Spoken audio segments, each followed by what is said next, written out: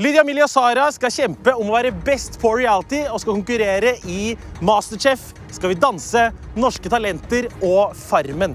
Hver episode så kåres det en vinner, og de to beste skal ut i en nervepirrende finale. Velkommen til Hvem er best på reality?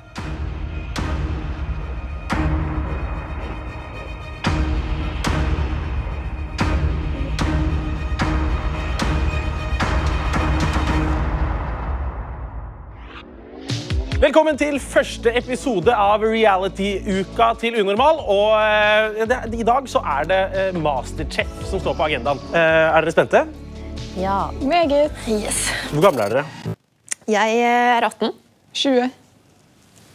Evig ung. Men føl, altså, Når du er 18, så har du ikke tid til å lage mat. Nei, det går mye i Fjordland, da. Det går, det går mye i Fjordland. Den er jeg god på. Ja. Jeg kjenner at akkurat i dag så er jeg liksom glad for å være hun gamle. Men jeg vet at det er ymse som står på sida her. Jeg har jo sett nok på matlagingsprogram til å vite at det er med selvtillit at man vinner. I Masterchef så har man jo alltid med en kokk som eh, dømmer og gjør ting kokkegreier. Og kokken vår i dag det er Kristoffer Eggan. Ja da. Velkommen. Takk for det. takk for det. Hva er eh, på en måte oppgaven eh, de skal gjøre i dag? Eh, Det er jo rett og slett en eh, trøndertaco, som vi sier i Trondheim. Eller en norsk taco. Rått. Er dere spent? Spiser dere mye taco? Elsker taco. Ja. ikke så mye trøndertaco. Jeg kan noen få retter. Jeg kan pasta, og jeg kan kremet blåskjellsuppe. Og jeg kan kremet blåskjellsuppe, og der sier det egentlig stopp for min del. Da er det bare å finne plassene deres. Takk. Sir, yes, sir. Jeg forventer at det liksom ikke er sånn veldig store, heavy greier. At det er litt lett. Og så går jeg egentlig inn for å vinne. Fordi det som er lett, det er fett, og det fikser jeg bra. Da er det bare å dra fram eh, kledet. Ja, dette her er alt jeg unngår i en vanlig middag. Men uh, trøndertaco Hvor er tortillaen? Hvor er tortillaen? Hva er en taco uten tortilla? Men jeg vet jo ikke hva, hva halvparten av de greiene her er. Tomat vet jeg jo hva er. Det, det er jo Det er ikke helt sånn som jeg pleier å gjøre Det har jeg aldri sett før i mitt liv. Jeg vedder på at Dette her kan ikke være normalt. Hva er dette her, liksom? Jeg føler Fordi jeg ikke har noe erfaring med de ingrediensene, så har jeg en veldig vid horisont. Jeg kan gjøre hva jeg vil med de. Jeg kan eksperimentere. Og det har jeg tenkt å gjøre i det jeg lager også. Jeg har aldri hatt nepe, fennikel og plomme i en taco før. Det må du bare si. Så eh, her har vi da altså tre hovedingredienser. Og eh, for å gjøre ting litt mer spennende, eh, så skal eh, deltakerne få lov til å trekke en lapp. Takk. En. Hva er det de kan velge mellom blant hovedråvarer? Da har vi jo svinkjøtt, eller eh, lammekjøtt, eller da laks, eh, som er hovedråvaren her. da, rett og slett. Eh, Millie, du fikk eh, nummer én. Da kan du velge råvare først.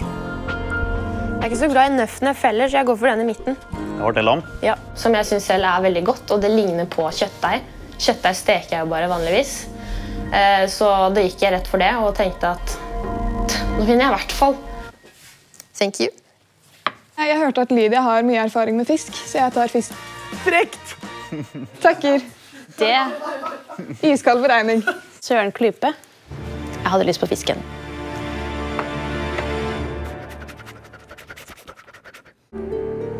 Kristoffer, jeg legger jo merke til at det ikke er noen eh, sånne tacolefser her. Hva er tanken? Nei, Her må vi jo da lage egne tacolefser. Oi. Egne tortillas. Så eh, det blir jo en litt sånn ekstra oppgave. Gjør det litt spennende. Da jeg fikk vite at vi skulle lage egne tortillalefser, eh, da gikk jeg fra å tenke 'nå vinner jeg', til 'nå er det helt natta'. Eh, Hva skal jeg søke? Tortillaoppskrift. Er det innafor nå som vi har mobiltid, å bestille lefse fra Foodora? Det er veldig lenge siden jeg har spist gris. Hvor lang tid har vi? Men er det noen som vet hvor lang tid vi har på oss? Nei, dette her går ikke. En time. Ok, For dette her tar en time å lage. Det kan jeg jo kanskje ikke. Jeg pleier jo å lage tomat- og mangosalat i tacoen min. Så kanskje plommer kan ta rollen som det. Alt jeg vil, er at, uh, at det skal bli en, en lekker rett. Som folk skal være sånn Shit, hun gjorde det der. Og elt. Hva, hva betyr det å elte deigen? Jeg vet ikke. Kanskje vi bare går for improvisering i dag. Eh, Jeg har funnet ut at oppskrifter fikk meg ikke langt, men min egen tankegang, den kan. Sara hun snakker for høyt, så jeg klarer ikke å høre mine egne tanker engang. Du snakker for høyt, jeg klarer ikke å tenke, jo. Det er meningen. Hun bare saboterer for meg. Skyld bønnene Nei, Jesus Christ. Dette er ikke en artikkel for meg. Jeg tror jeg har en plan. Ja, da er vi ferdige! Da er vi ferdige med research. Man skal liksom legge, når man sier, du skal liksom legge ned pennen og mobilen, da. Sara. Millie. Ja. Jeg er litt der, da. Uh, men jeg går jo fortsatt inn for å vinne, som sagt. Eh, ja. Da kommer dere til å bli dømt på eh, smak, utførelse og utseende. Dere har 60 minutter på dere, og eh, da er det rett og slett bare å sette i gang. Da starter jeg klokka. Ok, Jeg bare springer og henter mela med en gang. Det er det jeg kan hente etterpå. Først så skulle jeg begynne å lage de der lefsene, og så lette jeg etter melet. Eh, noen hadde tatt det, så jeg måtte begynne å lage noe annet. Hæ? Da er det litt endring i planene her. Hvordan skrur man denne på? Bestemte meg for å gjøre det her på øyemål. Hvor står det? Her står det liter. Jeg skal bare starte med en gang med å lage wraps-deigen. Jeg har alltid hatt lyst til å prøve å lage egne taco-wraps, men jeg har aldri giddet å gjøre det. Tenker jeg skal bruke mye krydder, og så har jeg en idé om å raspe gulrøtter inn i den, så den får litt sånn ekstra god eh, smak. Noen ganger er det beste bare å følge litt naturlig instinkt. Tips fra Sara. Tok du saltet, du? Ja, sorry. Sånn har vi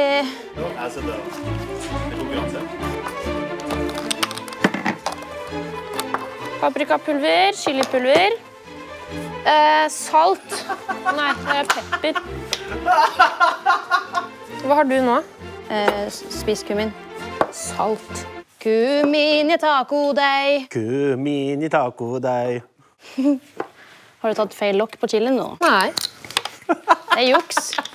For det trikset hennes funka. Sånn. Bruker du hånda som vekt nå, Millie? Ja, du vet, jeg trener og sånn. På treningssenteret da er jeg, jeg har litt erfaring med de vektene der. Ja. Så det er litt sånn 400 gram.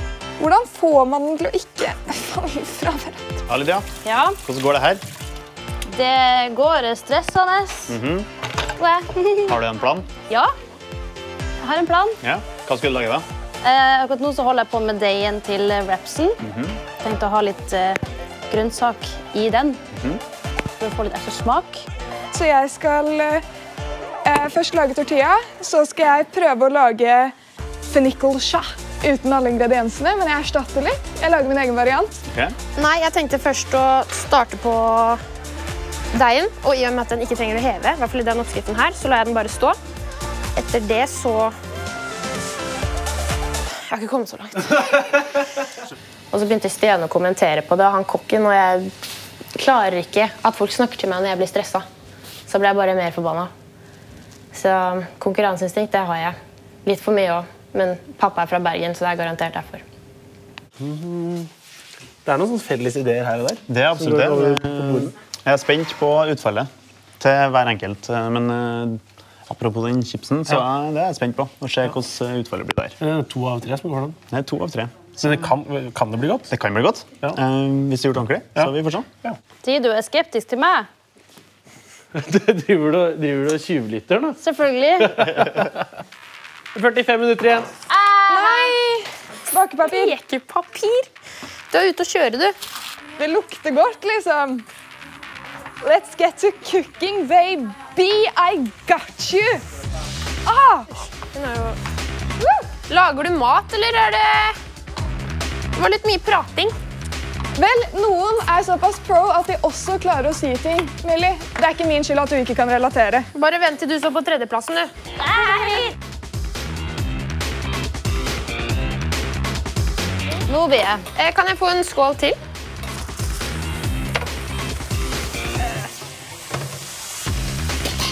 Nå har de holdt på ja, Det er snart halve tida. Halve tida snart. En del av utførelsen.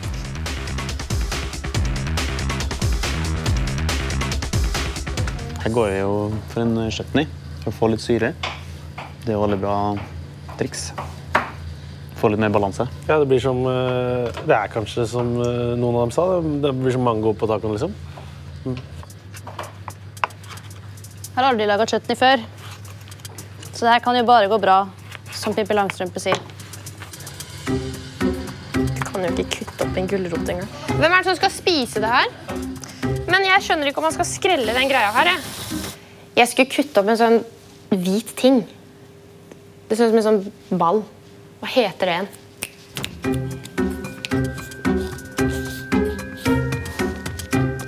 Nepe?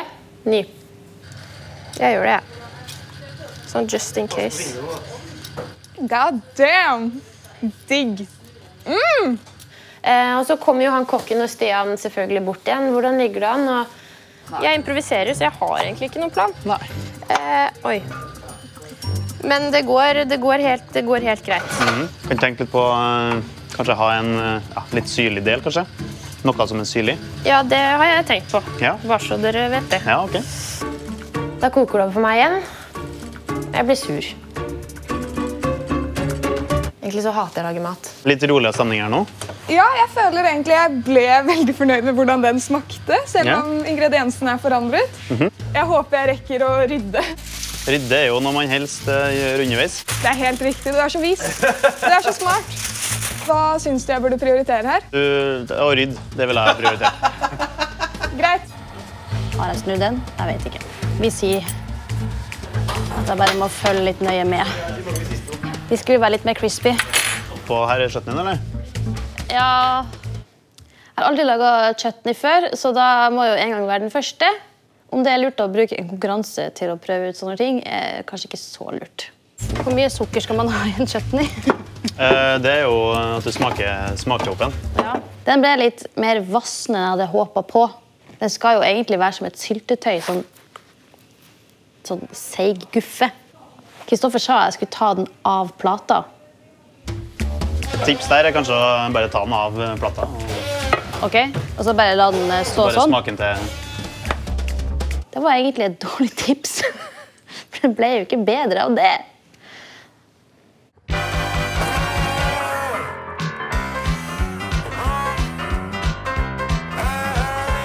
Hvordan går det her, da? Det er jo fint. Jeg får bare ikke den maskinen til å gå helt ned og Ah, ja. ta alt. Kan jeg kanskje ha noe med at det er rå gulrot? Ja. Kok det mørkt, og så kjør. Takk for informasjonen, men jeg burde fått det litt før, for nå er det jo for sent å koke det, så nå må jeg improvisere. Men nå er jeg tom for gulrøtter. Har vi flere? Der.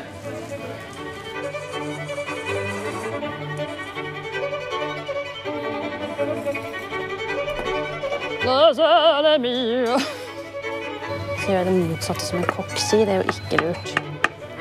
Skal dette her liksom være med? Det er innafor å ha med, liksom? Hei. Nice, takk skal du ha.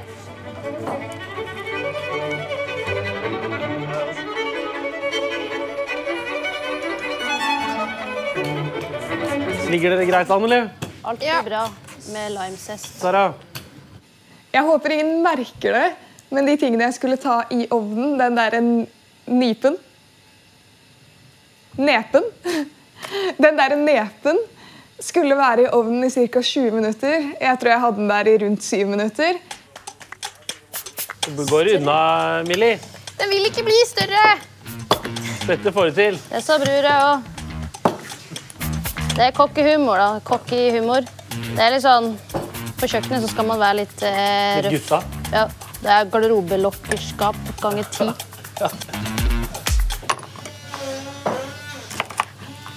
Jeg hører at Sara driver og moser noe der borte med Sara har holdt på med den der mosemaskinen greit lenge nå. Det, det der er første gang du har sett. da. Første gang jeg har sett. Absolutt. Lydia og Emilie er veldig ryddige, men det er jo absolutt ikke Sara. Det har jeg fått med meg. Ja. Veldig godt. Til og med etter uh, Ja, alt er bare rotete der. Liksom. Det er eh, 15 minutter igjen. Oi. Jeg har glemt å, at jeg skal gjøre ting. Burde man begynne å tenke på hovedråvaren nå? eller? Fortsatt god tid. Eh, det er fortsatt tid til det. Absolutt. Eh, Det er jo noen som har starta allerede. Ja, er fisken oppi der, tror du? Ja, den er oppe. Det kan jo gå dårlig. Den er allerede kutta også.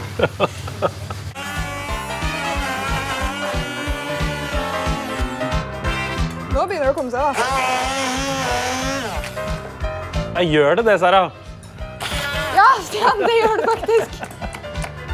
Hvorfor sier du Sara hver gang du sier noe nedlatende? Det blir så mye mer personlig nedlatende.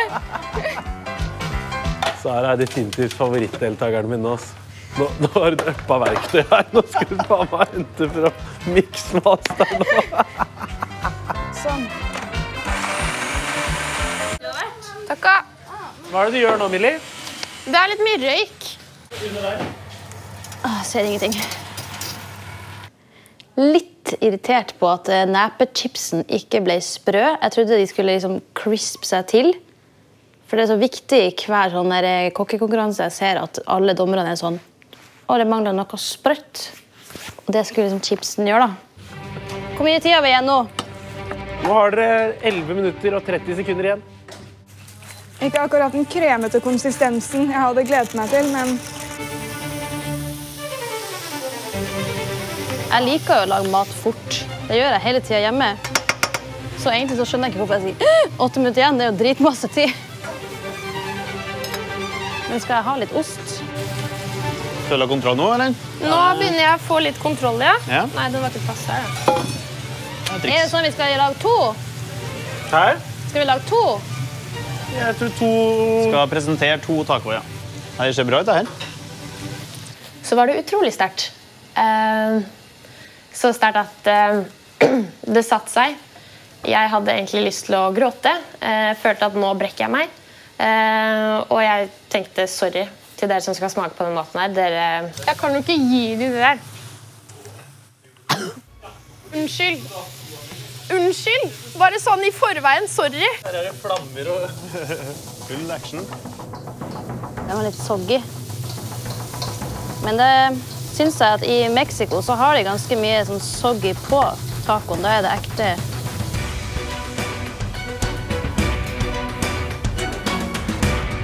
Det var bra, Millie. Ja, jeg syns mer synd på dere. Uh... Tio. Oi, 50 sekunder igjen. Nå er det stress her. Ja, nå er oppløpet. Nå er Folk, oppløpet. eh, Lydia har ting eh, klart her. Ja. Er det mitt? 20 sekunder igjen. 10, 9, 8, 7, 6, 5, 4, 3, 2, 1. Ferdig! Hands off. Ja. Det, alle har jo klart å levere noe. Men hvorfor måtte vi ha med sånn utseende? Det er jo smaken som teller. Skal vi ta anretninga? Det ble litt mer soggy enn jeg hadde håpa på. Å! Nå ble jeg sinna. Millie, skal vi starte med deg, da, siden du fikk én i stad? Vær så god. Hva vi har fått? Eh, dere har fått en eh, taco med tacoløsser laget fra bånn. Eh, rømme helt nederst. Seterømme. Eh, oppå der ligger det lammekjøtt med hjemmelaget eh, tacokrydder og løk. Oppå der ligger det wokkede grønnsaker, som er gulrot og nepe. Oppå der igjen har vi eh, finhakket eh, tomat, eller jeg prøvde å finhakke. Oppå der er det plommer som har ligget i eh, lime. Takk. Så tar de den opp og begynner å spise, og da ser jeg liksom på ansiktet til Stian at det er sånn Millie, du suger. Da fikk jeg veldig vondt inni meg, og det verste var at kokken han bare sto og så ned på maten, så litt på meg, så sa han ingenting. og jeg hadde egentlig bare lyst til å legge meg ned og begynne å grine, fordi det var veldig ubehagelig. Jeg var veldig ukomfortabel da jeg sto. Eh, ingen sa noen ting. Og i dag gikk jeg for seieren, men jeg er veldig usikker på hvordan det går nå. Ja. Vi kan gå til neste.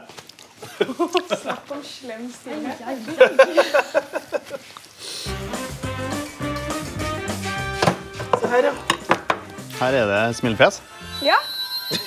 Fordi det er det laget for kjærlighet. Hva er vi får servert, da? Her er det en hjemmelaget tortilla med en eng av fennikelskjær. Mm -hmm. Yes. Eh, der igjen så har vi stekt laks og eh, en eh, gulrotpuré der jeg selv har kommet og bidratt med oppskriften. Og over der igjen har vi ost, og helt på toppen de crème de la crème.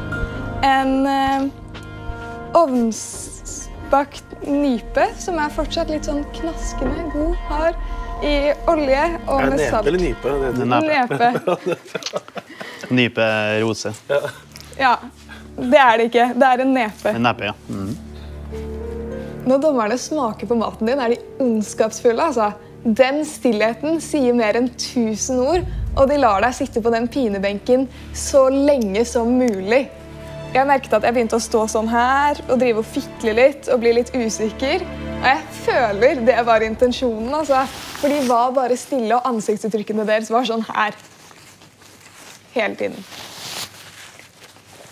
Dette er vondt, altså.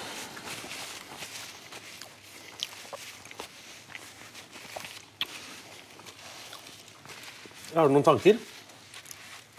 Man smaker til fisk. Det gjør man. Jeg syns den fisken var god. Jeg syns den var kuttet opp bra. Jeg syns ikke det er noe å ta meg på. Det er brød òg. Man smaker at brød er der. liksom. Det er det. Det er brød. Jeg setter pris på det. Det er sant å si. Ja. Em, Mhm. Jeg klarte å gå til neste. Jeg. Du er målløs. vi skal gå på neste. Mine herrer. Takker. Ja, her har vi da en eh, svinetaco på en eh, ostegratinert eh, gulrotwrap. Med en plomme-tomat-chutney. Eh, assistert med syrlig fennikel og nepechips. Før vi starta konkurransen, så skrudde jeg jo selvtilliten langt opp. Sånn fake it till you make it-selvtillit på kjøkkenet. Den, den begynner å tikke ned, eh, så jeg kjenner fort at det begynner å tømme seg. Er du klar? Skal vi prøve, da? Ja. Å se dommerne smake på eh, mitt hjertebarn, altså min nydelige taco, var litt uh, skummelt. Noen vil ha mer syre. Bare ingen informasjon å hente fra de fjesene der. Så jeg aner ikke hva de egentlig syns.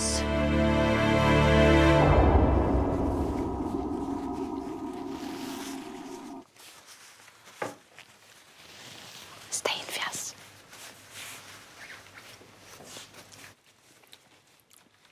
Det var et eller annet med frisk smak der. ja. Det her var det. mm. Det var mm, ja. Litt.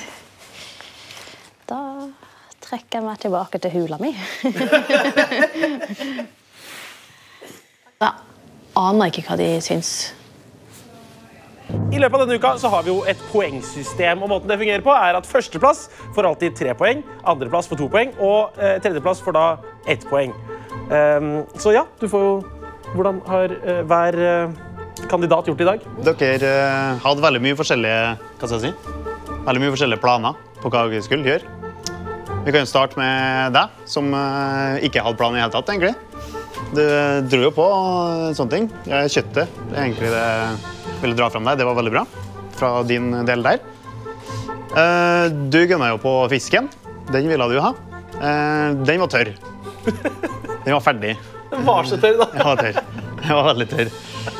Du hadde jo veldig mye planer, og det så du også på benken din. Ettersom det var relativt rotete, for å si det på en fin måte. Um, Det var ikke én positiv ting å si der. Den uh, slåen din, som den er kalt, da. En, det er jo en cold slaw, eller en fennikelslå. Den var god. Det var juicy og digg og ja, litt fresht. Uh, siste er jo da Ja, du hadde en klar plan. Det, var ikke, det virka som det var mer kontroll hele veien. Jobba greit ryddig. Eh, Jeg var fan av lefsa. Du brukte gulrot i lefsa. Det var litt deilig. Og så var det også ost. Smelta ost, som, eh, som dere kan ta ja, tanke på neste gang. Skal vi gå over til å avsløre kanskje hvem som tapte først? da? Ja, vi kan starte med. Og da blir det nok uh, deg, Sara, som uh, taper denne duellen. Uh, det var en ja, Triellen. Er du sikker? treer. Jeg er veldig sikker.